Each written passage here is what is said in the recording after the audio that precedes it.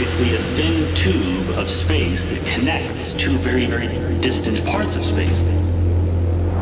Like a tunnel, tunnel, tunnel, tunnel, tunnel, tunnel.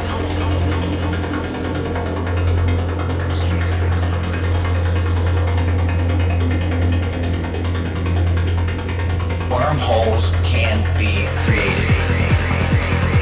Ship doesn't really get faster, right? It creates a dimensional gateway to jump instantaneously from one point of universe to another light years away.